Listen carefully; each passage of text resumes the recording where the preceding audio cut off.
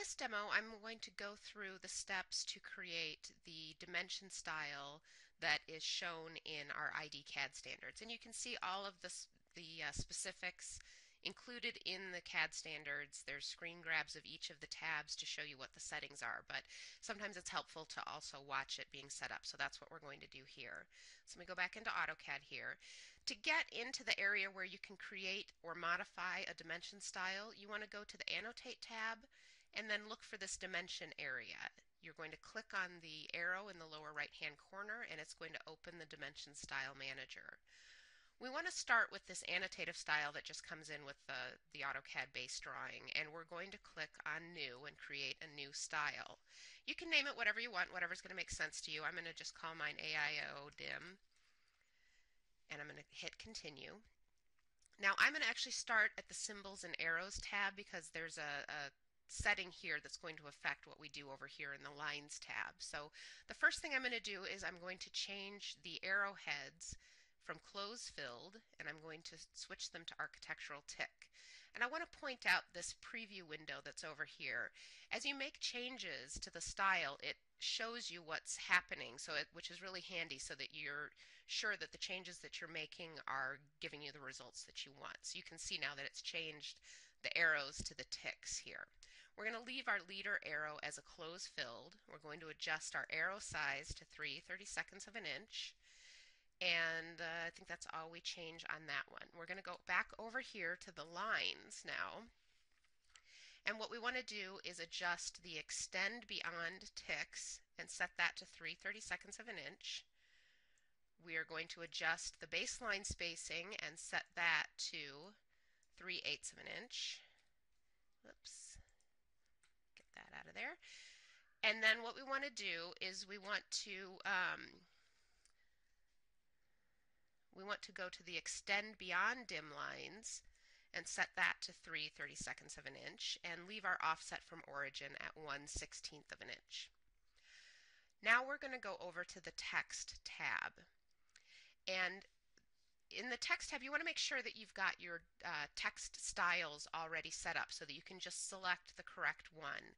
For dimensions, we use the, uh, the style that uses the font Stylus BT and is set at 330 seconds of an inch. So what I'm going to do is I'm just going to go into my pull down here and select my Stylus BT 330 second of an inch. Now you can see that the um, text height then becomes grayed out because I've already set the text height at 330 second in the text style. The next thing we're going to look at is the text placement. Now for the for the vertical placement we actually want right now the um, the text is kind of in the middle of the dimension line here. What we want to do is we want to set that to above. And you can see again it's changing that in the preview. The horizontal will leave as centered and the view direction will stay left to right. Now for the text alignment, we want to change this from horizontal. You can see like for this vertical dimension, the text is staying horizontal. We want to align it with the dimension line so that when you have an angle dimension or a vertical dimension, it actually turns the text. So now let's go and look at the Fit tab. For the Fit tab, we want to adjust this Fit options to both text and arrows. We want to go text placement over the dimension line with a leader. And then we're leaving that as annotative. And under fine tuning, we want to draw a dim line between extension lines. Our next tab is going to be primary units.